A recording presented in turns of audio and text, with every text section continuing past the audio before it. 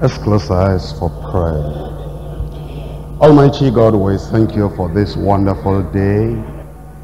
We bless your name because your mercies are renewed day by day. And we thank you for your love. Thank you for your grace. Thank you for everything you've done. We thank you because you manifested the height of your love and mercy and grace on the cross of Calvary. And we're asking, oh Lord, that that grace, that love, that mercy will be poured down on everyone here today in Jesus' name.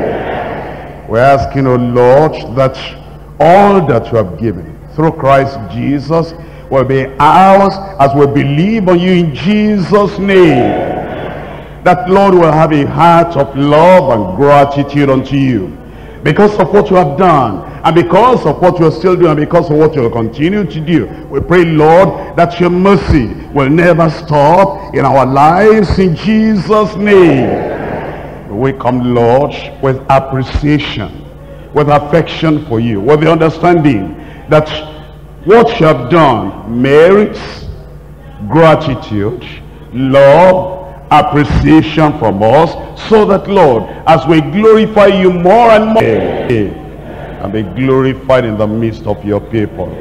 In Jesus name we pray.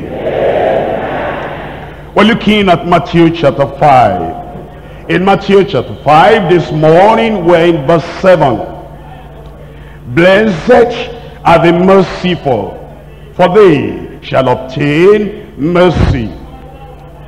Do you want to understand how Jesus Christ presented the message of heaven into the heart of men? Because we're told, now it says blessed are the merciful. Now, as you look at the message of Christ, you will see orderliness in the message. It actually goes from one point to the other. And one point leads to the other. And there's no way you can readjust the points. What I mean is, you cannot put this verse 7 in verse 3. You cannot start by saying, Blessed are the merciful, for they shall obtain mercy. Why not? Oh, because the nature of man, since Adam fell, the nature of man was not the nature of mercy. And from Adam, and unto Abel and Cain, and unto the people that followed, we can see that love is not a natural fruit growing out of the natural man. Grace and mercy are not natural fruits growing out of the heart of the, of the natural fallen man. And therefore we have to start in the dust, in the ground, where we were sinners, falling, because of our sinfulness, we needed to start with the mercy of God. But then we come for that mercy of God by being poor in spirit. Blessed are the poor in spirit. For theirs is the kingdom of heaven. And as you connect the references on the kingdom of heaven, you understand that means there's conversion. Except you be converted, as this little child or as little children, ye cannot in any wise enter into the kingdom of heaven. There is the poverty of spirit. There is humility. There is being contrite in spirit. And it is that repentance, that penitence that brings you into the mercy of God, the grace of God, the love of God, the kingdom of God. But then after that, it says, blessed are they that mourn after you get born again, you identify with God. God is sorrowful. It grieves my heart that have made man on the earth. Because every imagination of the thoughts of the heart of man is evil, only evil, continually. And then he comes to Israel and he said, Moses, it grieves my heart that these children of Israel are like this. These ten times they have, they have rebelled against me. And it grieves my heart that I even call them out. Now Moses, let me alone. And let my hot anger wax hot against them. And I will make of you a greater nation than they. And Moses said, Lord, how can you do that? The Egyptians will think you are not able to take them to the land of promise. They will not know that the problem is with them. The point is this. Because of the grief in the heart of God, now you become born again. You are in the kingdom of God. And you identify with the Lord and you mourn. Because of the crime. Because of the sin. Because of the rebellion. Because of the disobedience that we find in the world.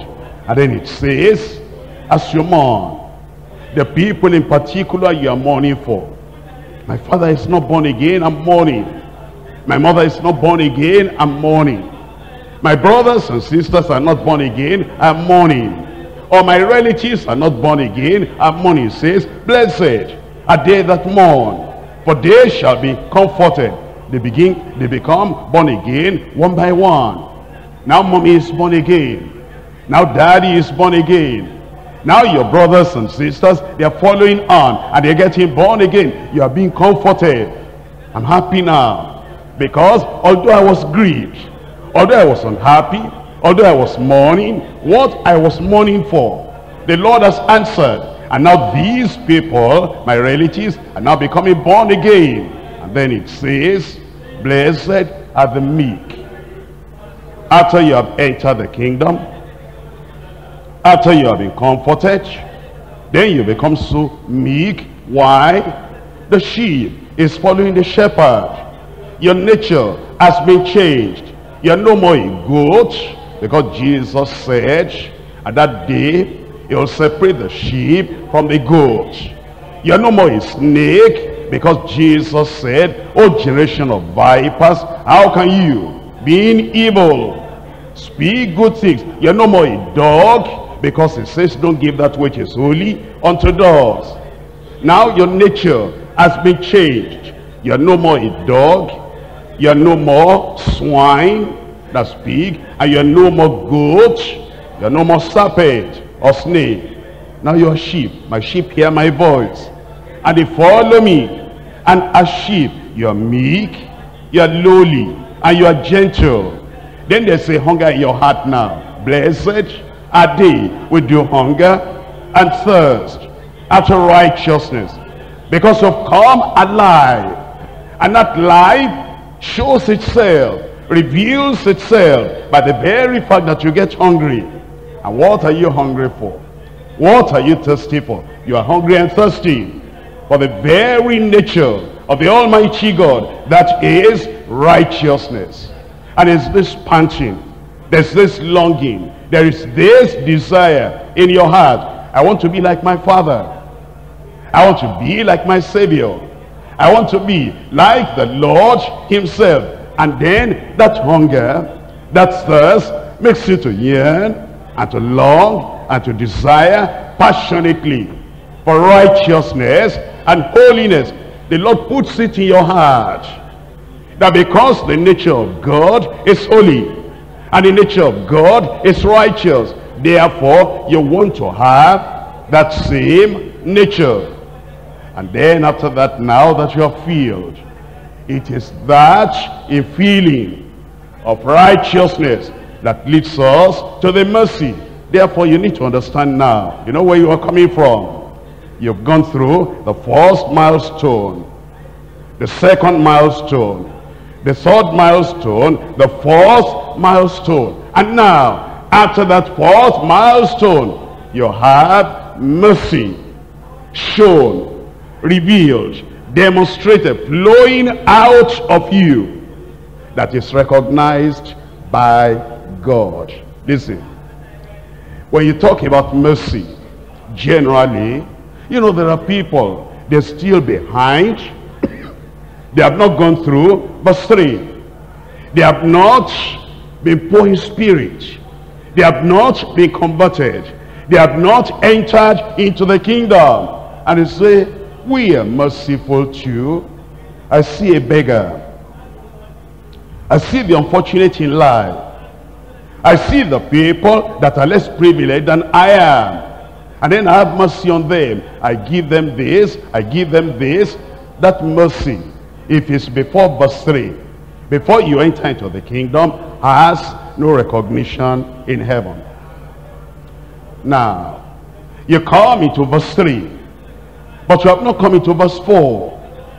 When you see evil, you don't mourn. It doesn't concern you.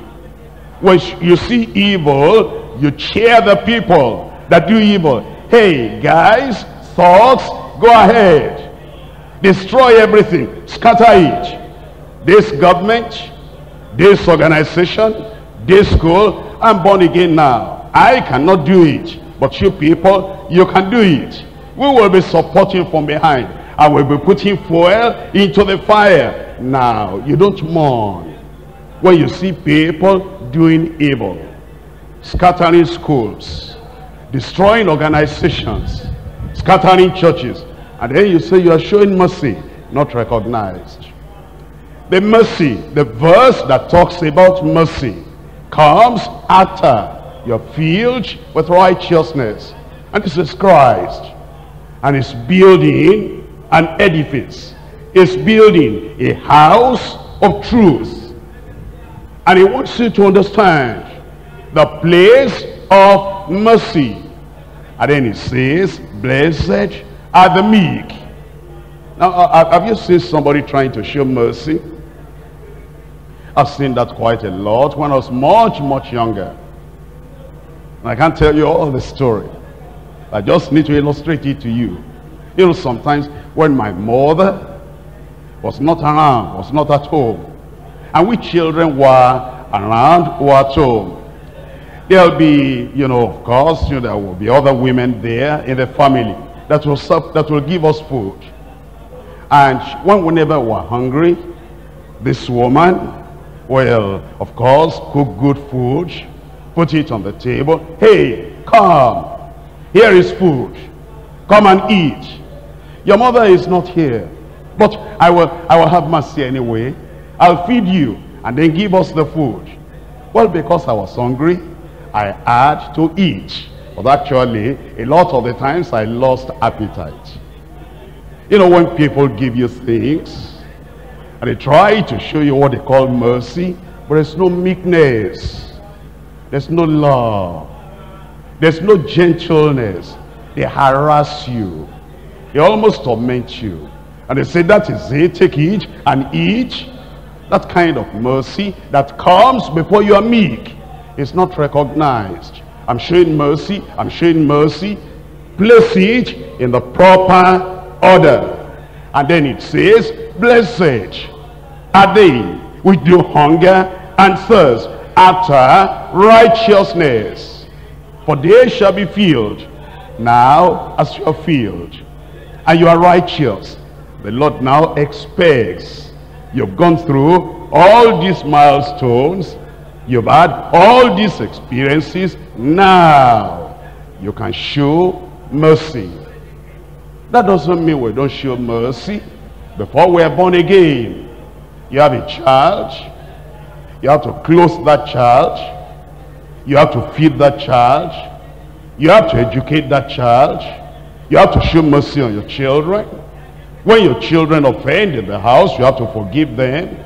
When you rebuke them, you have to draw them near. That's showing mercy. But that mercy doesn't get you to heaven. That's the normal thing. To keep relationship, you have to show that kind of mercy. But it comes before the salvation. But that one is not recognized as if it's the fruit of the Spirit to be rewarded. No. But the mercy that we're talking about now is not the general thing. It's not the one that everybody shows. It's the one that comes after you have experience with God. Notice then, this beatitude follows the blessedness, number one, of kingdom benefits for the poor in spirit. Number two, it follows divine comfort for the mourners. Number three, it follows the inheritance of the meek. And number four, it follows imputed and imparted righteousness for the hungry and for the thirsty. This character of mercifulness flows out of a heart made righteous by the divine hand of grace. Look at the verse again, verse 7. Blessed are the merciful, for they shall obtain mercy. What a great principle. Great principle. Second Samuel chapter 22. In Second Samuel chapter 22, I'm reading from verses 26 and 27. With the merciful, thou wilt show thyself merciful. And with the upright, man, thou wilt show thyself upright. With the pure, thou wilt show thyself pure. And for the forward. can you believe that? This is talking about God. And for the forward, thou wilt show thyself unsavory. For the forward, for the wicked, for the unrighteous, thou wilt show thyself unsavory. We're told in Proverbs chapter 3. Proverbs chapter 3. I'm reading verses 3 and 4. Proverbs 3, 3 and 4. Let not mercy and truth forsake thee. Bind them about thy neck. Write them upon the table of thine heart. So shalt thou find favor. You show mercy. Have the mercy of God and the truth. Demonstrate it. Live by it. Act it out. And walk in the mercy and the love of God. Stretch out a hand of love, a hand of grace, a hand of mercy unto other people. Then in verse 4, here is the result. Thou shalt find favor and good understanding in the sight of God and in the sight of men. Sight of God and man. As we look at this message, manifestations of God's mercy. We're dividing the message to three parts. Number one, the pattern of God's manifestation of mercy. Now, eh, you need to watch God. And you need to get a lot from God. And you need to get a lot from Christ. It's Christ who has come to show us. You see, all these things that Jesus said, everything Jesus preached, he demonstrated. And you don't even need to be a theologian. All you need to do just read the stories in the Bible, in the Gospels in particular, about the Lord Jesus Christ. How he related with people, what kind of way, how he showed mercy. And you'll see that he met different kinds of people. Who did he meet? He met his own disciples, John. He met James. He met Andrew. He related with Peter and Matthew and all those disciples and he related with Judas Iscariot. Now, was there any difference between Jesus' action to John and then to Andrew and then to James and then to Peter? Was there any difference between the action of Jesus to John or Judas Iscariot? Ah, yes, much, much difference. I thought we were to show us, of course, yes. Yet, you understand there is a pattern. Was there any difference between the relationship of Jesus Christ to the centurion and then to Herod? Of course, yes. Herod wanted to see Jesus perform a miracle. Did he? No. Herod asked question from Jesus Christ. Did Jesus even open his mouth to answer? No. And there you find the centurion coming. And the centurion said, my servant is sick. Immediately Jesus said, I'm following you. Let's go on. I'm going to heal him. Why the difference? There's a pattern. And so we need to understand when you read the Bible the life of Jesus is the interpretation of his message. Otherwise, you know, when you read the Bible, you become sentimental. And it is just the sentiment of the milk of the human nature. The milk of the human nature. That's the reason why you need to follow the pattern. You find out, now we're talking about mercy. What's God's pattern of manifesting mercy? The pattern of God's manifestation of mercy. Number two, personal gratitude and the ministry of mercy. Personal gratitude and the ministry of mercy. Now, why do we show mercy? I've just told you now. The Lord has forgiven you. And the Lord brought you into the kingdom after forgiving you. Then you're so grateful. If God can do so much like this for me, then I need to do a lot for my fellow man. Gratitude, personal gratitude, and the ministry of mercy. Number three, promises of great manifestations of mercy. Promises of great manifestations of mercy. Let's come to number one, pattern of God's manifestation of mercy. Let's look at Isaiah chapter Isaiah chapter 55 verses 6 and 7. Isaiah 55 verses 6 and 7. Seek ye the Lord while he may be found. Call ye upon him while he is near. Let the wicked forsake his way, and the righteous man his thoughts and let him return unto the Lord, and he will have mercy upon him. Understand there the pattern of God showing mercy. We are children of God. Now we're in the kingdom. We are followers of Christ. Now we're in the kingdom. We follow the pattern of the Lord Jesus Christ. Let the wicked forsake his way you're not going to have mercy on the smoker and give him all the money he needs to continue smoking. You are not going to give mercy and show mercy unto a drunkard and give him all the money he needs to continue drinking. It says, I will die if I don't see this drink. I need mercy from somebody. You Christians, show mercy unto me. I need to drink now. You're not going to show mercy and give him all the money he needs so that he can destroy his life with alcohol. If somebody is using hard drugs and is, uh, you know, sniffing uh, all that uh, cocaine or whatever. And because of this, he has stimulated his body. And then because of that, his body is crying out for drugs. And then he doesn't have any money. He runs to you, please, please, please. Uh, this, this, this, if I don't see this, I will die. Have mercy on me and give me money. I need to buy this now. And then you say, well, the Bible says, that blessed are the merciful, for they shall obtain mercy. Follow the pattern. Let the wicked forsake his way, and your righteous man his thought, and let him return unto the Lord, and he will have mercy upon him and to our God, for he will abundantly pardon that's the pattern we see in the word of God. You know, especially new converts when you become, you know, a new convert. And somebody is sinner, doesn't have accommodation.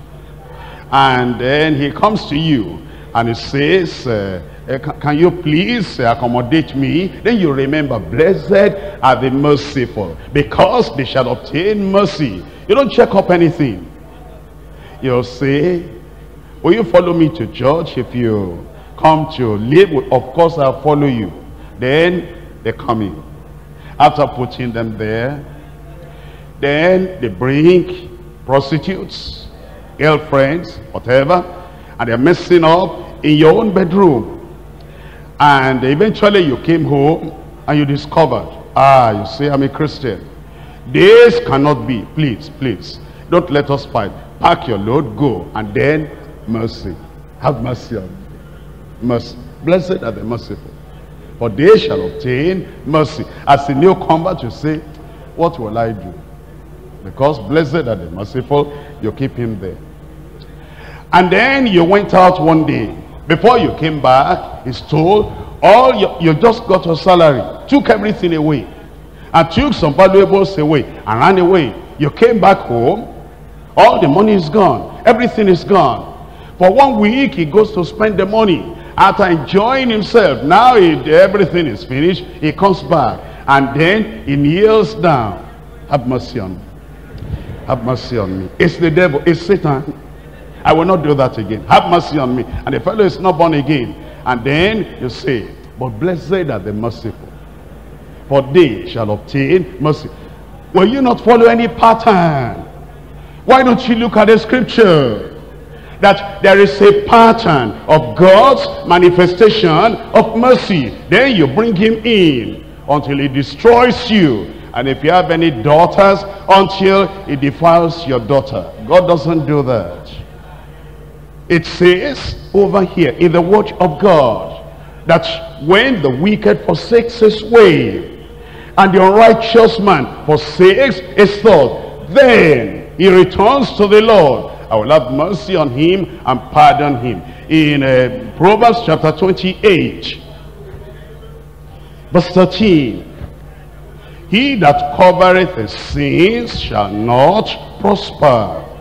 But whoso confesseth and forsaketh them shall have mercy. That's God's, that's God's pattern. In Ephesians chapter 2. Ephesians chapter 2. We're reading from verse 1. Ephesians chapter 2 verse 1.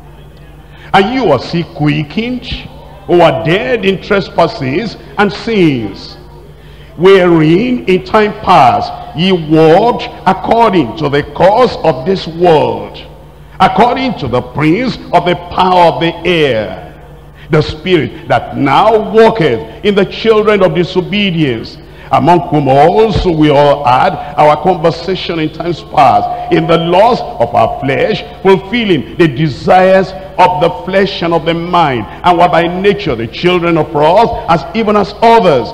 But God is rich in mercy. This is what we were. Then we came to the point where we need to repent. We came to the point where we need to have Jesus Christ as our Savior. Then he tells us, God who is rich in mercy, for his great love wherewith he loved us even when we were dead. In sins as he quickened us together with Christ. By grace are ye saved. Verse 10 for we are his workmanship created in Christ Jesus unto good works created in Christ Jesus unto good works the reason God shows us mercy we couldn't help ourselves we couldn't have that salvation at our own price. We couldn't pay the price.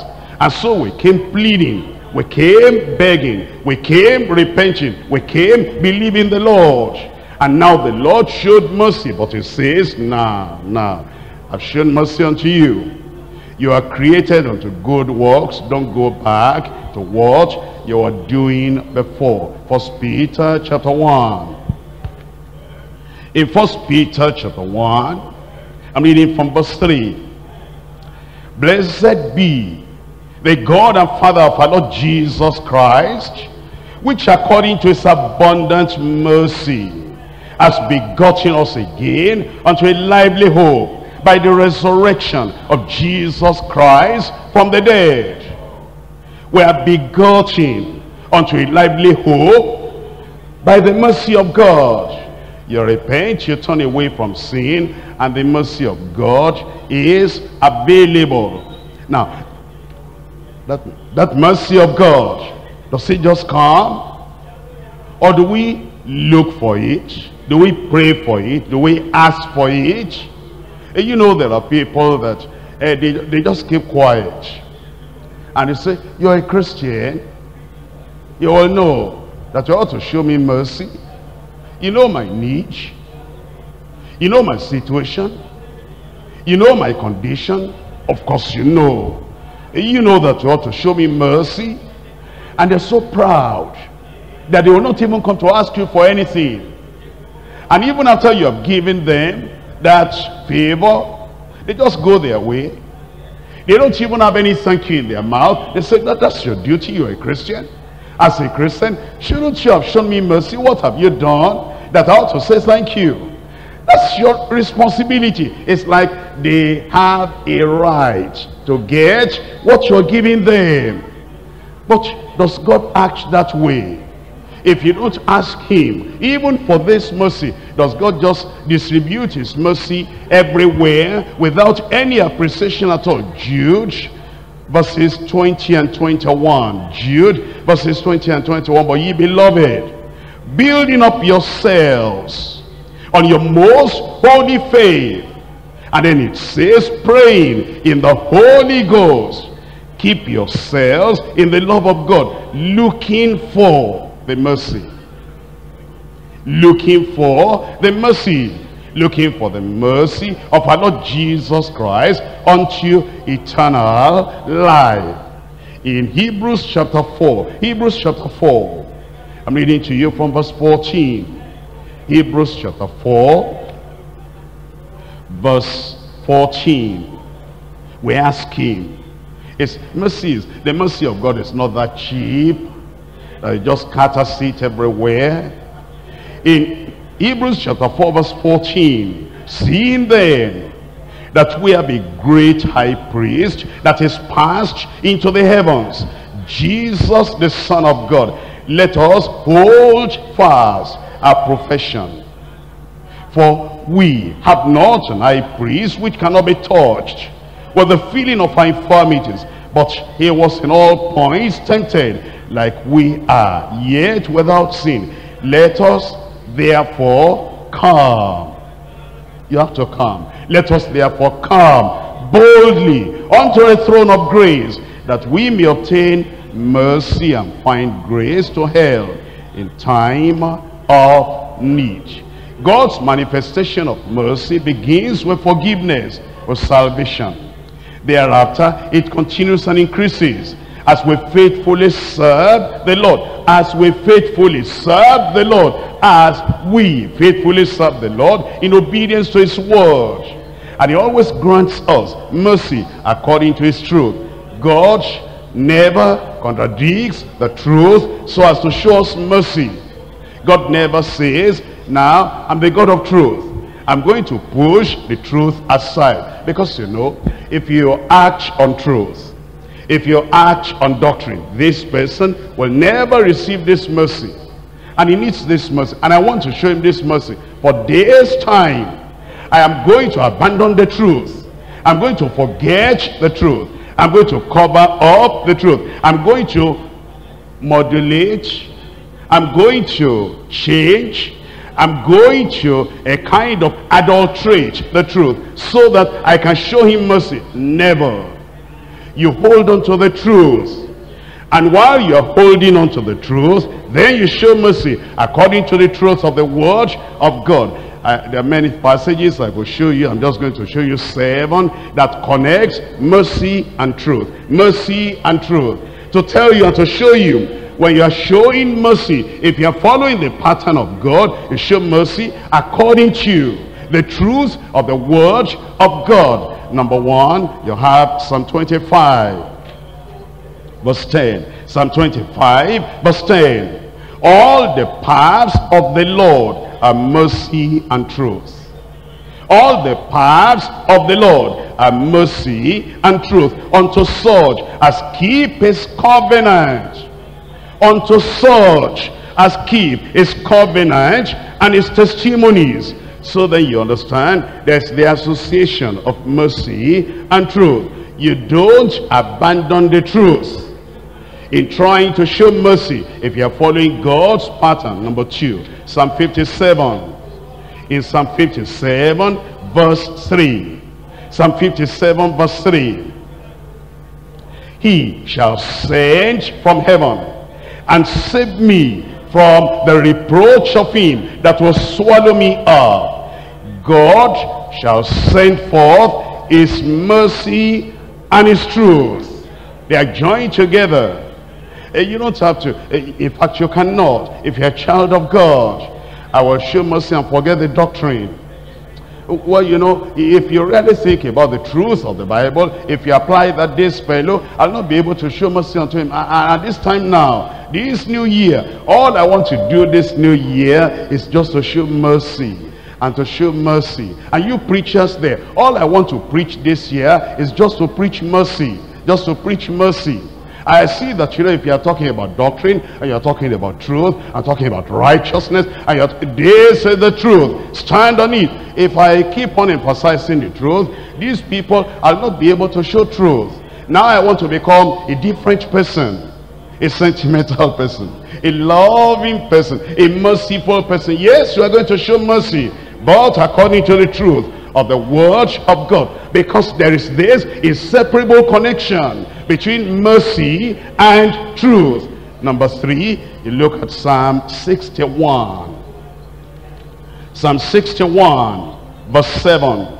In Psalm 61, verse 7, He shall abide before God forever. Oh, prepare mercy and truth, which may preserve him. Mercy alone will not preserve the church if the mercy, if the truth is gone. And you know, in all these other churches, they just love their people. Many of the churches are churches without correction. Churches without instruction. Churches without discipline. Churches without the truth. And then you say, you know, see all these churches, see the way they are. And I never hear, I've never heard that anybody in that church was confronted with the truth in any way that will make him to, you know, feel as if the pastor is not happy with him. Why don't we in our church just show mercy? Yes, our church is built on the truth. And he said this truth will never leave you. And you have to hold on to that truth. And you have to act and work and live and minister according to that truth. And it is only then, with the truth in place, you'll be able to show mercy according to the pattern of God. Number four, Psalm 85. Psalm 85, verse 10. In Psalm 85, verse 10, mercy and truth are met together. Righteousness and peace have kissed each other. Mercy and truth.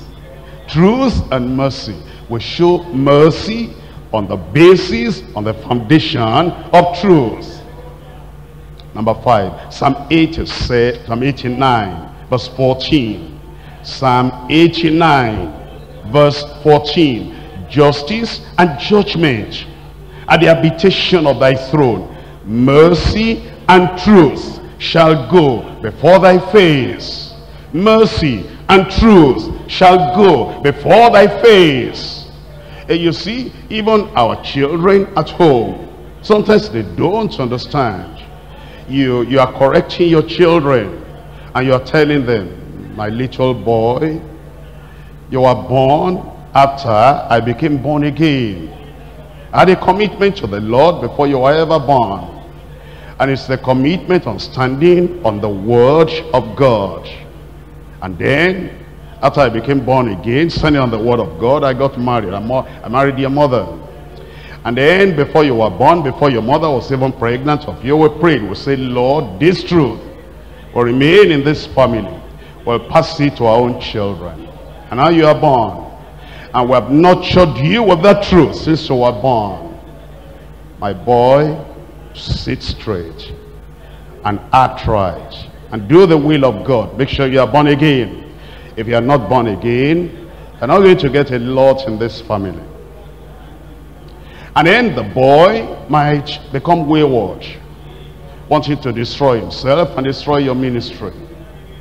Then you call him and you say, my boy, things are going to be tough. And then because you have been reading the Bible with your child, he knows a little bit of Bible. Oh, daddy, show mercy now. Isn't God a merciful God? And the boy continues, doing what you say, this is not right. You bring disrepute and reproach to my ministry. Don't do this. And the boy keeps on like that. You'll feed him. You see how to feed him. Because God gives us harvest and food and rain and sunshine. He gives us the basic necessities, even when we're not born again. But when it comes to special favor on that child, you say, I would have given you this, but I'm sorry I can't do it. Ah, daddy, don't talk like this. Are you not, are you not a preacher? Be merciful now because, and then your child, especially when they are growing much older, they'll quote Bible back at you. Blessed are the merciful, for they shall obtain mercy. I don't know the kind of father you are, but in my own case, I'll say, my boy, sit down. And let's run through this mercy subject. And then we go through, and I say, mercy and truth, mercy and truth, mercy and truth, mercy and truth. Now, which one do you want to hold? Then, you know, when I teach, especially when I'm teaching young, young people, I demonstrate, I say, do I bring a cutlass and cut off your one of your hands? And then it remains, well, how can you do that? Ah, but that's what you are doing. You are cutting off the truth and you're holding on to the mercy. Oh, daddy, I understand. You always have a Bible verse for everything. mercy and truth. Keep them together. Don't let them depart from you. You cannot show mercy in isolation without holding on to the truth of the word of God. If you abandon the truth, the mercy of God will abandon you too. That's how God operates. And then we're told now, number six. Is it number six or number five? Number six, have I read Psalm 89 verse 14? Yes, I have. Justice and judgment at the habitation of thy throne. Mercy and truth shall go before thy face. Now Proverbs chapter 16. Proverbs chapter 16. I'm reading from verse 6. By mercy and truth, iniquity is purged by mercy and truth, iniquity is purged. Pastors, pay attention. You know, sometimes some of the members of our church will say, well, pastor, you, that's when they become a little bit free. And so I, I like members of church to be free. Not frivolous, not too familiar, that will bring content, but free in the normal way. When they're a little bit free, they say, Pastor, you know, uh, we want to tell you, really, we love you, we appreciate you if you just will close your eyes to some things that happen I don't comment about them. You don't talk about them. And you don't hold anybody responsible for anything that happens. If you just close your eyes, you'll find out. If you can just, just, just practice it. And if things go wrong, just, just turn the other way. And things are not all right, not truthful, just turn the other. Even when you know, even when you know that the people are not dealing with truth, just close your eyes for six months and see the people and just show mercy. And when the people come for counsel, don't ask them embarrassing questions. Don't ask them, hi about this. What do you know about this? Pastor, if you can do that and close your eyes to these areas and show mercy and love to the people, you'll find in six months the whole church will be transformed. Ah, by mercy and truth, iniquity is purged. You hold on to the truth of the word of God. That's the pattern of God in manifesting mercy. Now, number seven, Proverbs chapter 20, verse 28.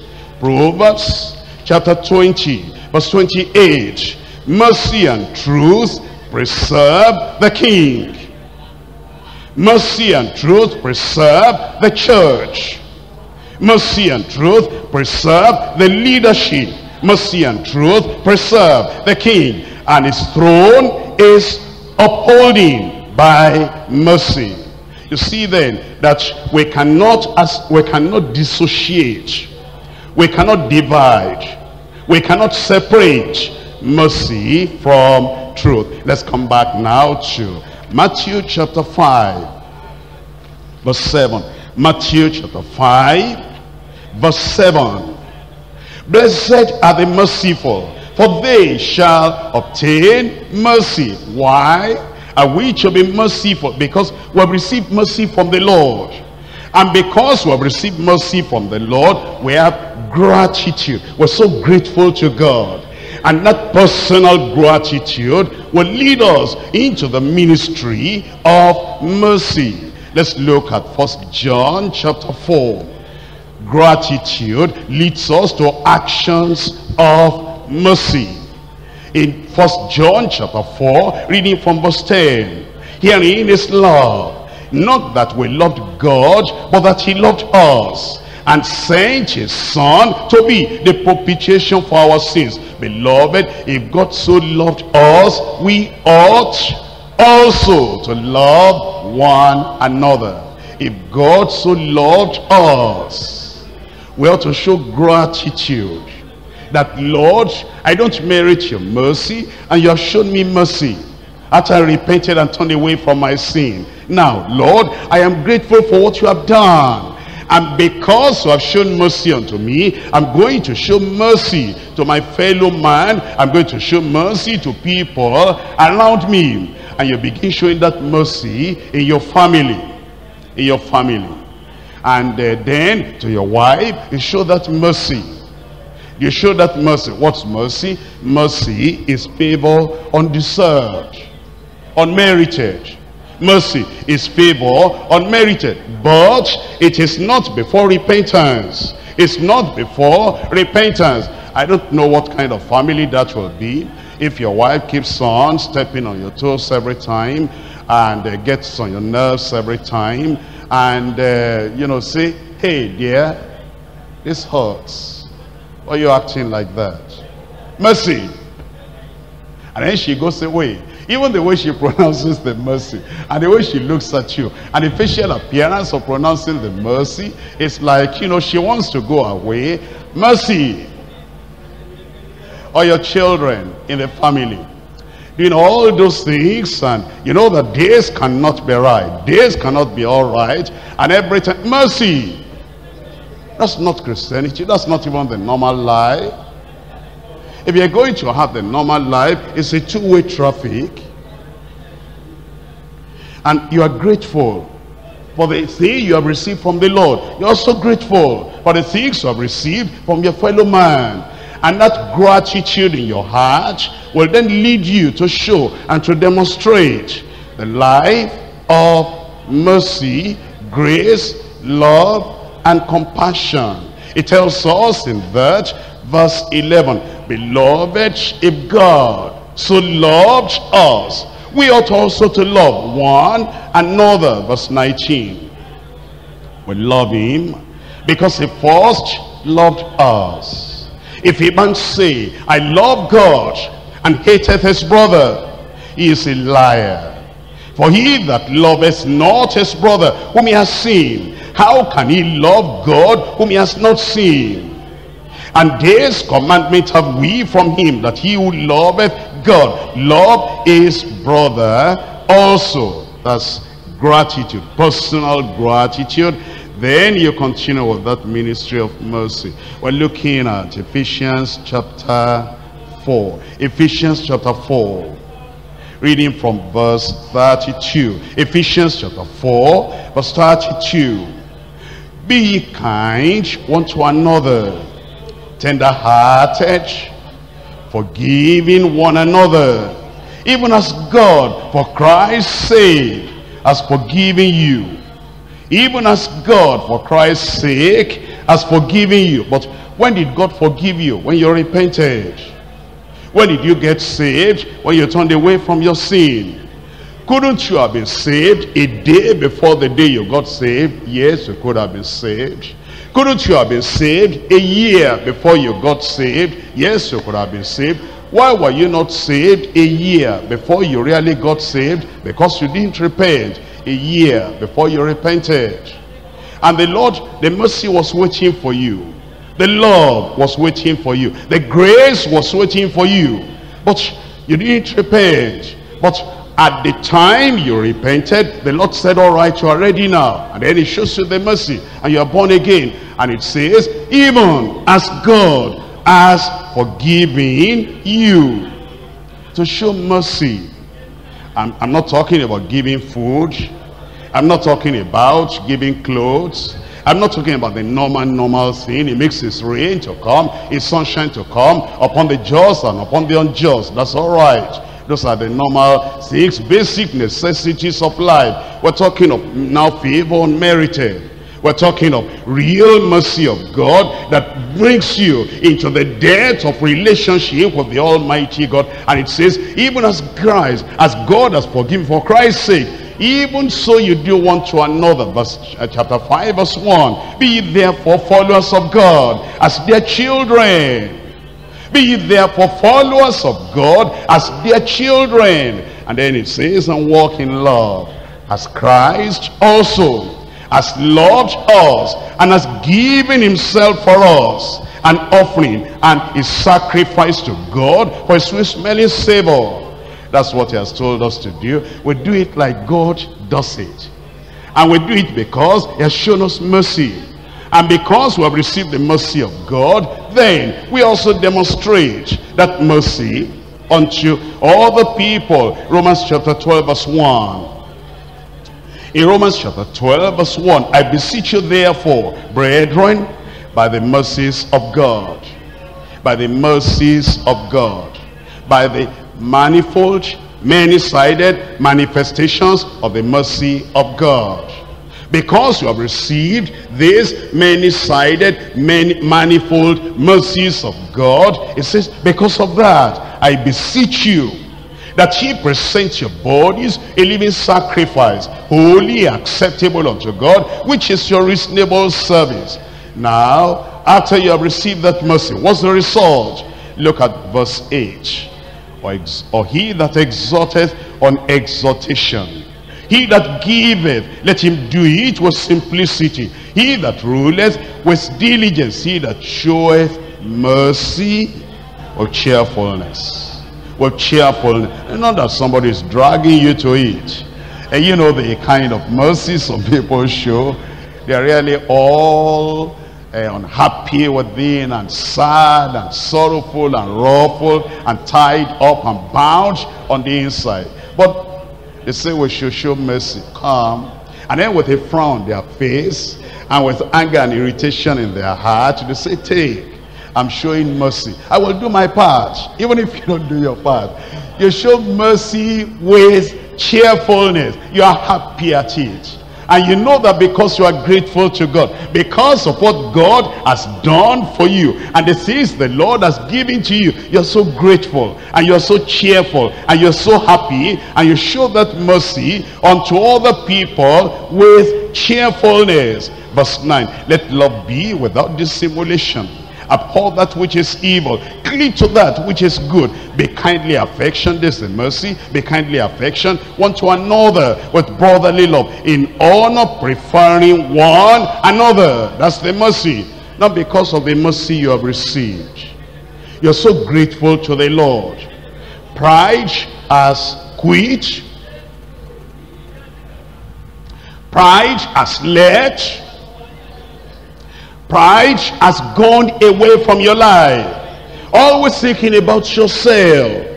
That you are higher, bigger, more powerful than other people, more intelligent than other people, in honor, preferring one another. That's the mercy, it's humility. Remember, you have passed through the gate of being poor in spirit before we come to this mercy. You passed through the gate of mourning and being comforted. Before we came to this mercy, you are passed through the gate of being meek and lowly and humble. Before we came to this mercy, you have come through the gate of being thirsty and hungry for righteousness and you have been filled before we came to this gate of being merciful that means then the humility will not quit will not live your life it says, in honor, preferring one another, not slothful in business. Uh, uh, do you know, let's say you put all your capital, and as you put all your capital into a particular business, then a brother in the church just uh, is looking for work, and he also knows how to do that thing. And then he come, I had my brother that you're establishing business. Ah, yes, I am uh, would you take me so I can become a partner? I don't know whether I want to take a partner because all my savings, all my capital, everything I've got, I'm putting it into this business. Uh, please help me. Okay, if you're going to come, what are you going to contribute so that at least in the capital of starting the work that you're going to put something down. Let me tell you, my brother, I don't have anything. All I'm asking for, just have mercy on me and let me join you all right. You can come. And then as you put all the capital down, the fellow now, as he came, when the profit comes, he wants you to divide that profit 50-50. because we're there together. And then when you make a little gain, and then at the end of, uh, you know, maybe a period, you say, my brother, can you have this? Then he says, how much gain did we make? You tell him, as a Christian, we have to be truthful. And he says, this is what you are giving me, and you are taking the other part. Are we not Christians? Yes, we're Christians. You contributed zero. I contributed 100. And now we have a gain. I'm even merciful enough to give you a part. And you're looking for 50-50. And this fellow, he will not come to work in time. He will still be, you know, uh, he, he, likes listening to pastor's cassette. In the morning, he wake up, he will listen to cassette, listen to cassette. When he comes to work at 10.30, ah, my brother, why now? You said you were joining me. Ah, you know I'm a Christian now. In my life, I don't play with pastor's cassette. Anywhere I'm walking. And then later, you show him the way out. Then he goes about in the district. Brother so-and-so doesn't have love. Brother so-and-so doesn't have mercy. And you people, you'll be carrying the rumor along with him. Brother so-and-so doesn't have mercy. Go and ask brother so-and-so. You will know that your brother who came to tell you with zero capital and yet having something is lazy, is not working. Mercy must be on the basis of truth. We put everything upside down. And then we oppress the people that are even doing their best. And the people that are doing nothing and just carrying rumors about that the people you are lifting up if we're showing mercy, the whole Bible is there. And it says, not slothful in business, fervent in spirit serving the Lord, rejoicing in hope, patient in tribulation, continuing instant in prayer, distributing to the necessity of the saints, giving to hospitality. Bless them which persecute you. Bless and curse not. Rejoice with them that do rejoice and weep with them that weep be of the same mind one toward another. Mind not high things, but condescend to men of low estate. Be not wise in your own conceits. Be not wise in your own conceits. Recompense to no man evil for evil. That's, that's the mercy. You're not paying them back with their evil. Provide things honest in the sight of all men. If it be possible, as much as lies in you live peaceably with all men dearly beloved avenge not yourselves but rather give place unto wrath for it is written vengeance is mine and i will repay says the lord. Therefore if thine enemy hunger feed him.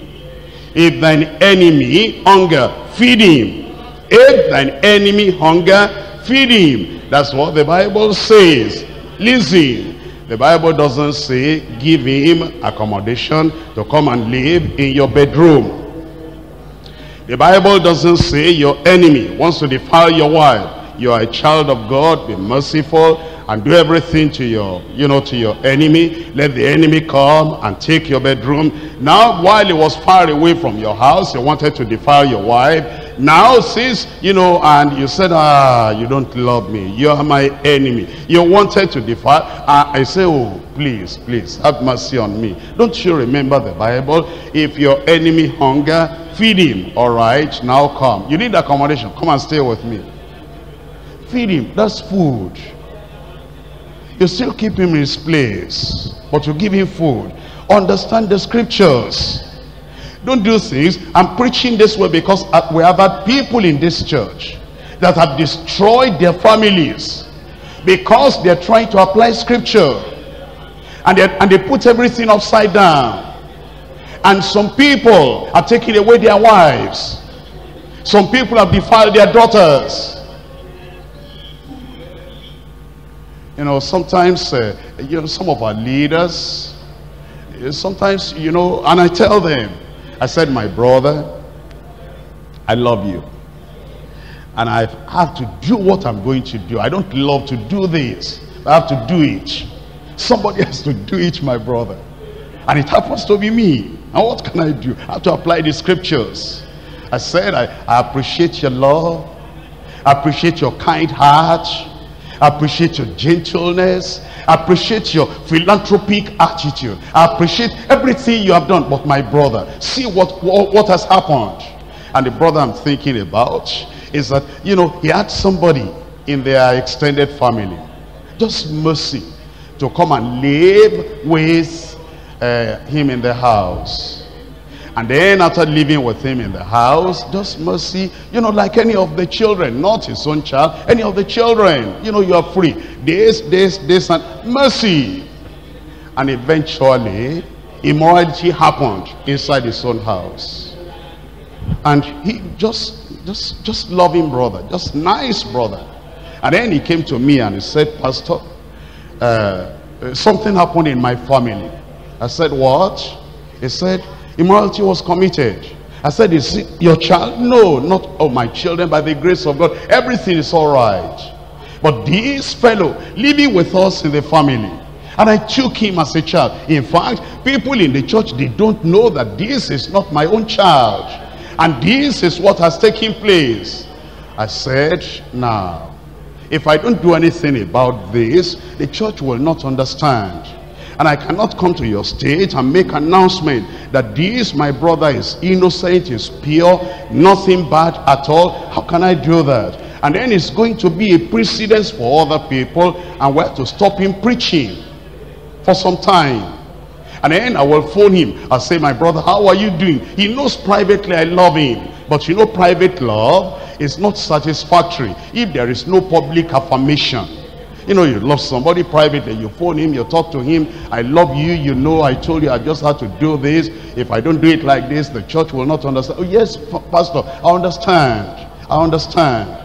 And then when I come to the public, I don't act like that. I just, you know, I just act normal. I just preach my message. And then, because if I show public affirmation of that private love, it's go I'm going to send a wrong signal to the church. You have to be strong when you come to the public as a leader. You show your love on the ground in the private.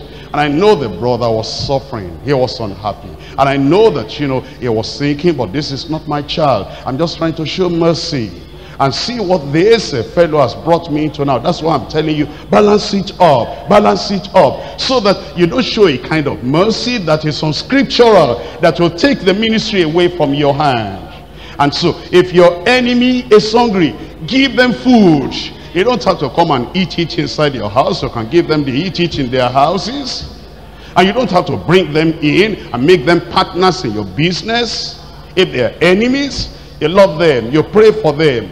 But you don't act to them as if they were friends. Jesus is the greatest model of his own message.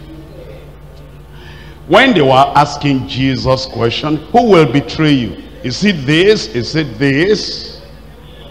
Did they tell Judas, ask the Lord? No, they have been watching. That although Judas Iscariot was the treasurer of the group, it's like Jesus never really had direct one-to-one -one communication with Judas Iscariot. Check out. You'll not find anywhere in the Gospels. Because Jesus knew him and he knew what was up to. And he knew what he was going to do. And Jesus did not speak publicly, but he knew. He did not act in the same way to Judas Iscariot as he acted to John, the beloved. When they distributed the food to the 5,000, and then 12 baskets remained, yes, 12 disciples, 12 baskets, that's food.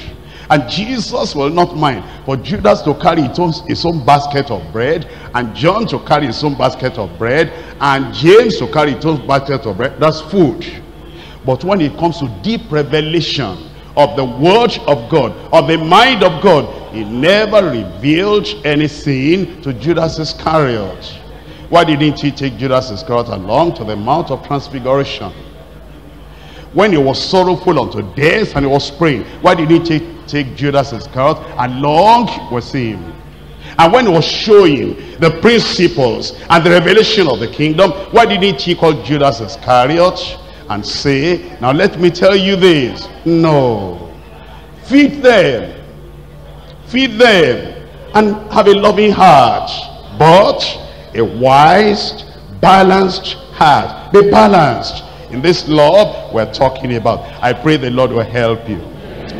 Then it says, therefore, if thine enemy hunger, feed him. If he thirst, give him drink.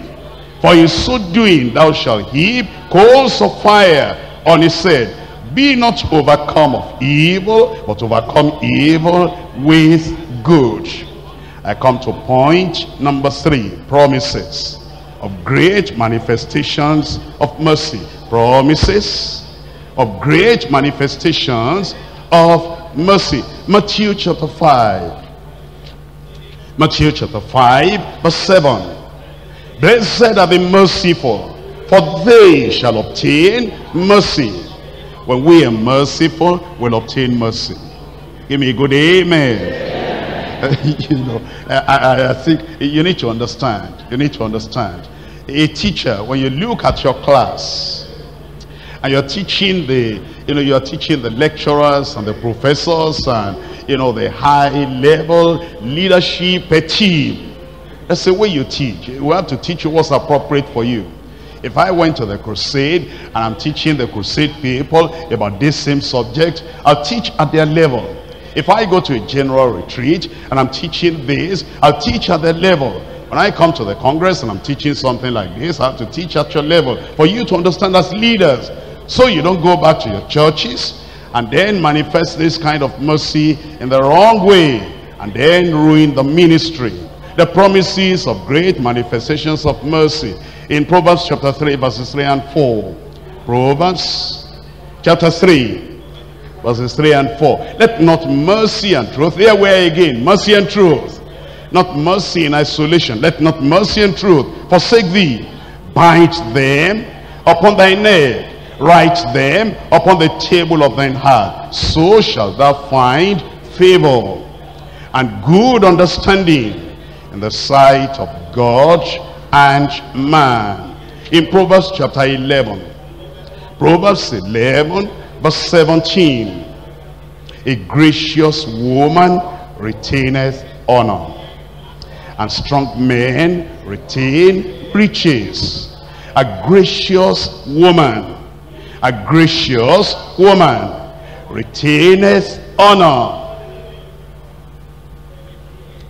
Women are supposed to be tender, gentle, humble, having a meek and quiet spirit, and merciful, merciful. And you know, women should not be people that are so strong, so aggressive, that, let's say the pastor, for example, is uh, looking into some things in the church and then he feels, I, I think, uh, you know, these people, I think they should have learned their lesson now. And I think that once they learn their lessons, are we not going to show mercy? And then you show mercy in church administration. And then the wife just happens to know that, uh-uh. He then sees uh, so-and-so, sister so-and-so ministering. And then when they get home, the wife is saying, ah, my husband, I think we have women ministering in the church. Yes, my dear. I thought Sister so-and-so was under discipline. Yes, my dear. When was she restored? Oh, she was restored about two weeks ago. Hmm. I thought I was a women leader in the church. Yes, of course. But I didn't know about this woman being restored. She's a woman she's under women ministry. Yes. But the women ministry is under the pastor too. And since the women ministry is under the pastor, my wife, do you think that the pastor will come and take permission from you before doing his work because the fellow is under the women ministry? The pastor is the overall leader in the church. And when he believes he ought to show mercy unto those women, unto those men, that's his right. And a gracious woman, at home will not put fire into the husband again and say, that woman should not be restored now. I know her, this, this, and this, ready to fight the husband. A gracious woman, a loving woman, a tender woman will show that these tendernesses there, you understand what tenderness is all about. A gracious woman, verse 16, retaineth honor. You retain your honor, my dear sister. If you don't instigate your husband at home to show less mercy. Now verse 17. The merciful man doeth good to his own soul. But he that is cruel troubleth his own flesh. Verse 25. The liberal soul shall be made fat. And he that watereth shall be watered also himself. Proverbs 21, verse 21. Proverbs 21, verse 21. He that followeth after righteousness and mercy. You see the connection? Righteousness and mercy. Not mercy without righteousness. He that followeth after righteousness and mercy we're told that is the one that findeth life and righteousness and honor. Psalm 37. Psalm 37. Reading verse 25. In Psalm 37 verse 25, I have been young, now I'm old, yet have I not seen the righteous forsaken, nor his seed begging bread. Why? Because he is ever merciful. He lendeth and his seed is blessed. Psalm 41. Reading from verse 1. Blessed is he that considereth the poor. The Lord will deliver him in his in time of trouble. The Lord will preserve him and keep him alive. And he shall be blessed upon the earth and thou wilt not deliver him unto the will of his enemies. The Lord will strengthen him upon the bed of languishing. Thou wilt make all his bed in sickness. There's a merciful man that considereth the poor. Psalm 112, 112. In Psalm 112, reading from verse 4. 112, verse 4. Unto the upright there ariseth light in darkness. He will guide his affairs with discretion. Unto the upright, go back to verse 4. Unto the upright there ariseth light in darkness. He is gracious and full of compassion and righteous. A good man showeth favor and lendeth. He will guide his affairs with discretion. Surely it shall not be moved forever. The righteous shall be in everlasting remembrance. He shall not be afraid of evil tidings. His heart is fixed, trusting in the Lord. His heart is established. He shall not be afraid until he see his desire upon his enemies. He has dispersed. He has given to the poor. His righteousness endureth forever. His horn shall be exalted with honor. As we show this scriptural mercy, the blessing of the Lord will become abundant in our lives in Jesus' name. In Isaiah chapter 58, Isaiah chapter 58, reading from verse 10. And if thou draw out thy soul unto the hungry, and satisfy the afflicted soul. Then shall thy light rise in obscurity, and thy darkness be as the noonday. You see, that's talking about mercy. You draw out your soul to the hungry. You satisfy the afflicted one. Then it says your light will rise in obscurity, and your darkness will then become as noonday, and the Lord shall guide thee continually. Amen. Amen. And satisfy the soul in drought and make fat thy bones. And thou shalt be like a watered garden, and like a spring of water, whose waters fail not. And they that shall be of thee shall build the old waste places. Thou shalt raise up the foundations of many generations. Another amen. amen. You believe it, another amen. That's why we're together. That the Lord will use you to build the foundations of many lives. And thou shalt be called the repairer of the breach. To repair, to repair, to repair. You know, eh, that, that, that's part of showing, showing mercy. You repair. You mend the net of fishing in the kingdom. You don't tear the net. You don't break down the bridge. As when the church, and you see conflicts between this and that, between that person and that person. You are committed to showing mercy and mending and building, not tearing down. You see, children of God having a ministry that will glorify the Lord. You'll be a repairer of the breach, a restorer of paths to dwell in. Restoration will happen through you And the Lord will use you in this ministry of mercy. Apply the scriptures, make it balanced, follow the pattern of God, and follow the approach of Christ. There'll be mercy in your life, and mercy, merciful people will be coming your way every time. Let's rise up and talk to the Lord in prayer. Balance it up. Mercy and truth. Mercy and doctrine. Mercy and pure worship Mercy and the knowledge of the word of God. Balance it all. Balance it all. Balance it all. Mercy. Mercy and truth. Don't abandon the truth in trying to show mercy.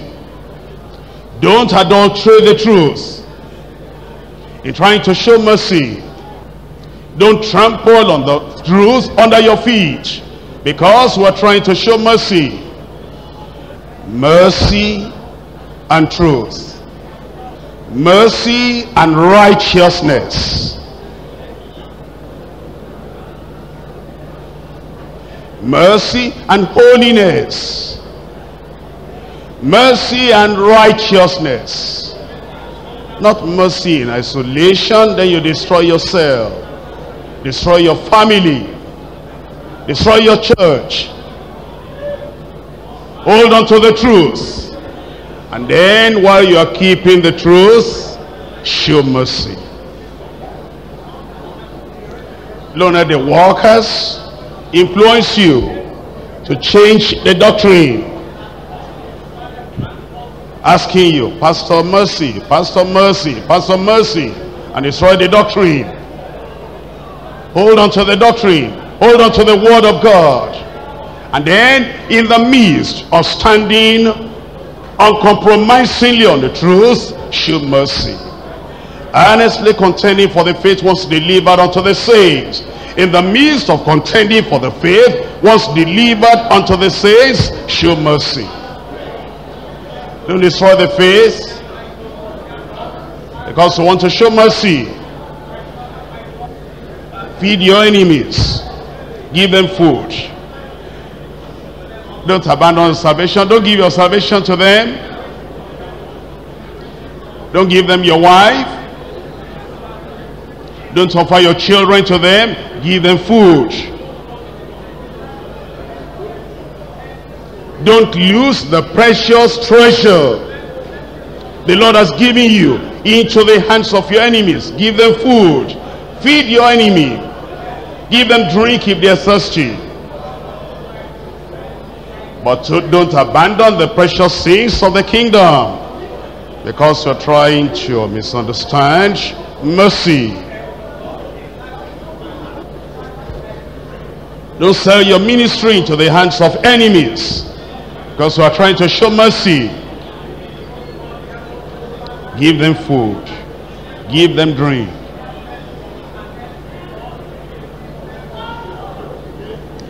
Can give them material things.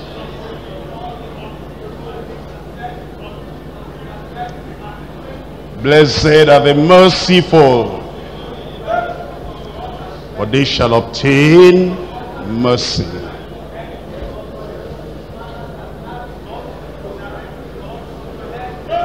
Wise unto salvation. Ask the Lord to help you. Tell the Lord to give you the mind of Christ. So you will know how to carry out the word of God.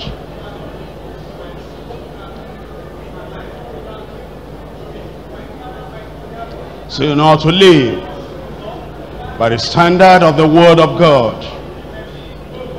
Mercy, mercy and truth. Mercy, mercy and righteousness. Mercy, mercy, balanced scripturally.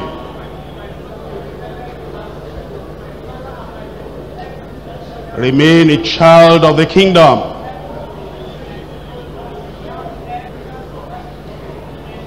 A child of the kingdom.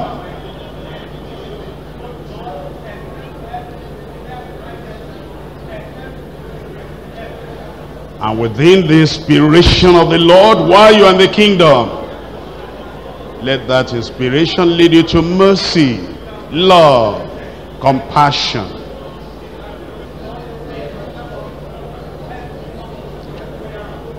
A personal gratitude to the Lord all the Lord has done for you. Let that personal gratitude lead you into the ministry of mercy. And have personal gratitude to leaders in the church who have helped you, taught you everything you know, brought you into the experience of salvation.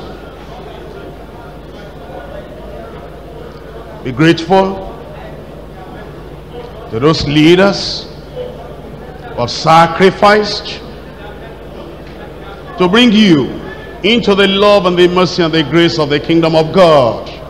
Personal gratitude. And let that move you to to show mercy to other people. The way we have helped you, help others. The way we have lifted you up from nothingness unto the level you are now. Do it to other people too. Lift them up. Personal gratitude and the ministry of mercy. Be tender, be gracious,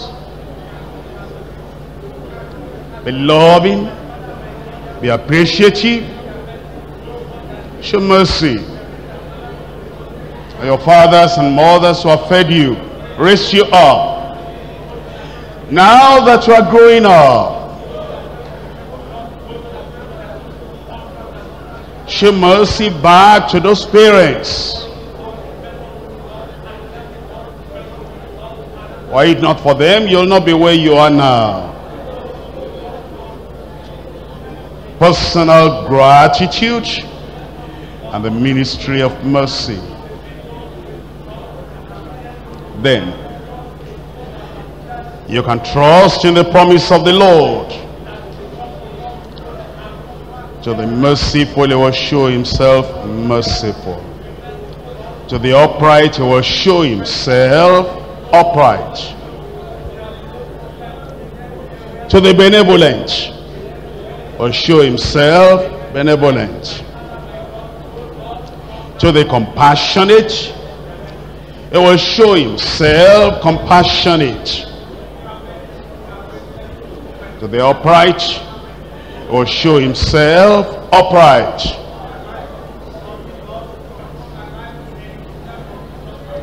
Balance it up mercy and truth.